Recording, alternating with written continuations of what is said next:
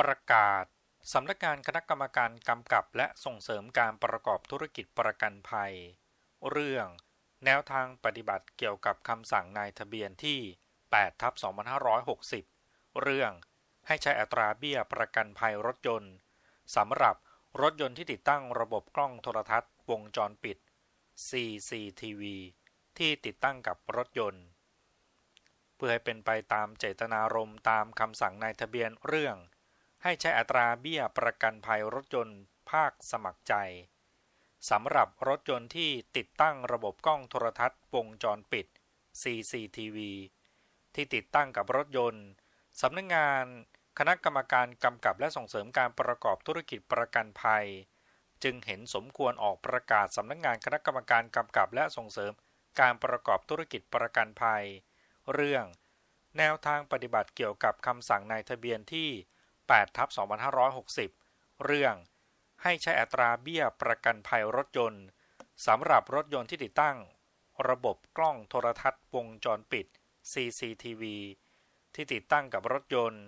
ลงวันที่ 3 มีนาคม 2560 ตามแนบท้ายประกาศนี้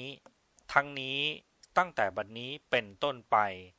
ประกาศณวันที่ 17 มีนาคม พุทธศักราช 2560 สุทธิผล ทวีชัยการ เลขาธิการคณะกรรมการกำกับและส่งเสริมการประกอบธุรกิจประกันภัย นายทะเบียน แนวทางปฏิบัติเกี่ยวกับคำสั่งนายทะเบียนที่ 8 ทับ 2560 เรื่องให้ใช้อัตราเบี้ยประกันภัยรถยนต์สำหรับรถยนต์ที่ติดตั้งกล้อง โทรทัศน์วงจรปิด CCTV ที่ติดตั้งกับรถยนต์ 1. คำว่ากล้องโทรทัศน์วงจรปิด CCTV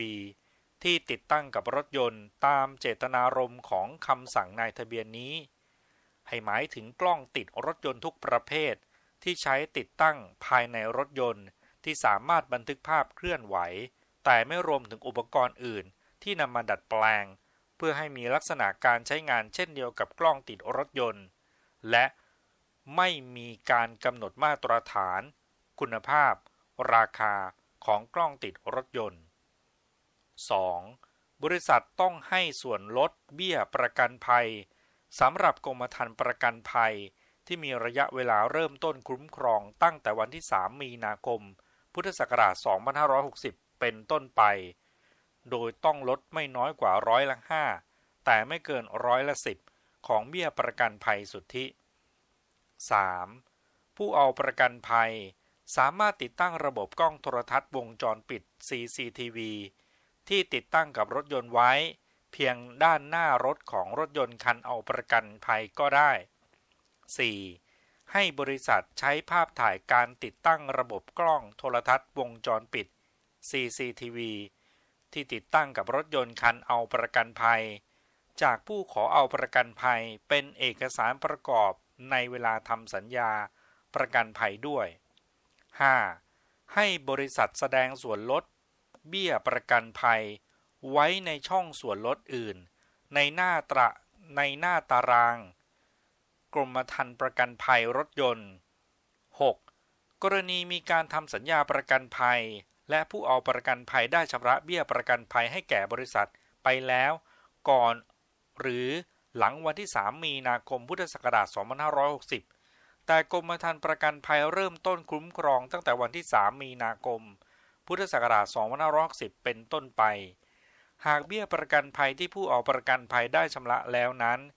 ยังไม่มีการให้ส่วนลดเบี้ยประกันภัยตามคำสั่งนี้ เมื่อผู้เอาประกันภัย ได้แจ้งขอส่วนลดเบี้ยประกันภัยดังกล่าวในภายหลัง บริษัทต้องให้ส่วนลดเบี้ยประกันภัยตามที่คำสั่งกำหนดไว้ 7. ให้บริษัทสามารถใช้ภาพหรือภาพเคลื่อนไหวที่บันทึกเหตุการณ์อุบัติเหตุของรถยนต์คันดังกล่าว เอาประกันภัยเป็นหลักฐานประกอบการพิจารณาสินไหมทดแทนของบริษัทเพิ่มเติมได้